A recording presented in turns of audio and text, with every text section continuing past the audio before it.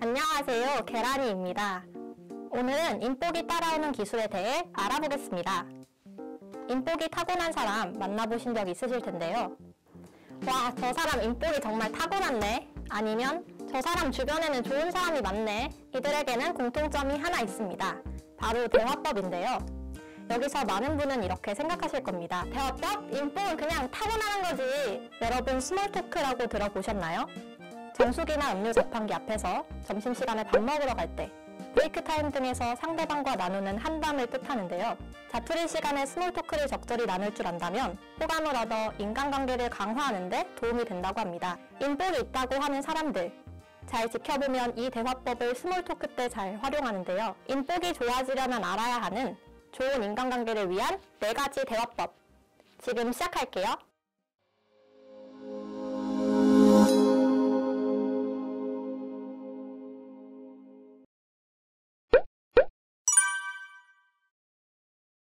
인복에 따라오는 스킬. 첫 번째 포인트입니다. 눈짓과 미소를 보일 수 있는 대면하기인데요. 인터넷이 발달하고 다양한 채팅 앱이 생기며 우리는 메신저에 의존을 많이 하고 있는데요. 상대방과 대화를 하면서도 손은 채팅 화면으로 가고 있습니다. 하지만 이러한 채팅 앱도 상대방과의 관계를 돈독히 할 수는 있는데요. 채팅 앱이 아닌 서로 마주보고 대화를 한다면 표정을 교환하는 것만으로도 다르게 받아들일 수 있습니다. 자투리 시간인 만큼 인사부터 시작해 볼 수 있는데요. 상대방이 바쁜지 안 바쁜지 확인하고 바쁘다면 가볍게 인사하고 바쁘지 않다면 몇 마디 더 대화를 나눠보는 겁니다. 하지만 바쁜 사람을 붙잡고 대화를 이어간다면 오히려 관계에 역효과가 될 수 있으니 괴물입니다. 즉 우리는 대면하기에서 적절한 때가 있음을 알아야 하죠. 상대방과 꾸준하게 대면으로 대화를 한다면 여러분은 상대방과 좋은 관계를 맺어가고 있을 겁니다. 두 번째, 이야기거리입니다. 우리는 의, 식, 주 등 수많은 주제를 가지고 대화를 하는데요. 그 맛집 음식 진짜 맛있던가요? 네, 진짜 맛있었어요. 어, 대화는 주로 질문으로 시작됩니다. 하지만 말이 이어지지 않는다면 대화는 금방 단절되죠.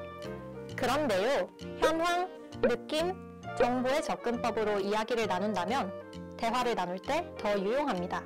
예시 들어볼게요. 그 평소에 음식 좀 좋아- 어떻게 좋아하세요? 네, 저 먹는 것도 좋아하고 사진 찍는 것도 좋아해요. 아 어쩐지 그 저번에 인스타 봤는데 와플 맛있게 생겼더라고요. 뭐 맛은 어땠어요?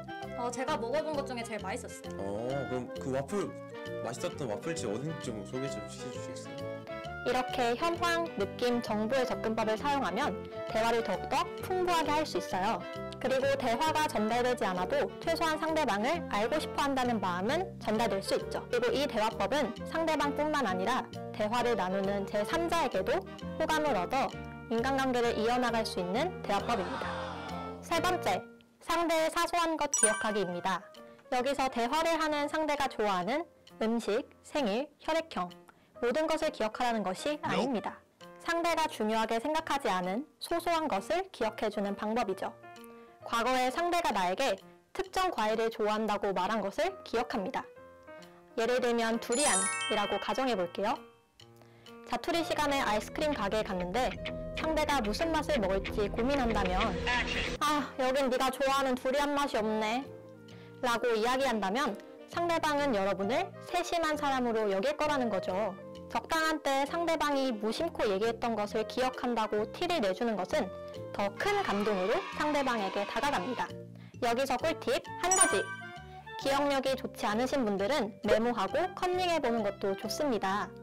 네 번째, 긍정적인 소문의 사자가 되는 것입니다.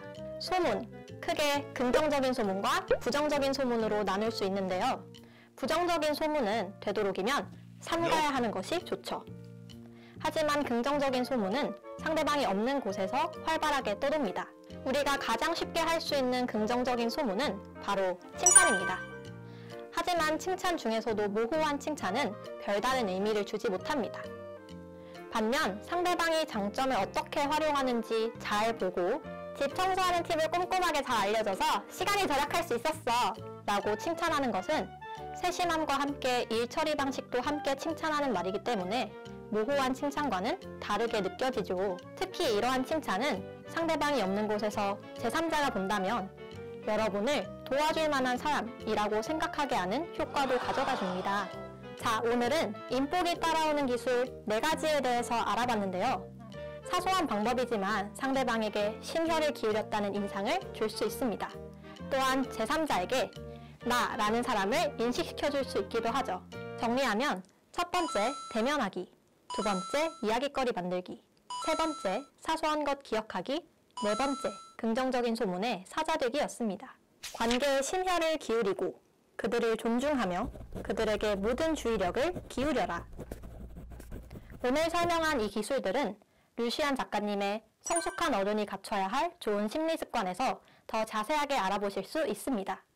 33가지의 좋은 심리 습관이 담겨 있는 이 책 한번 읽어보시는 게 어떨까요?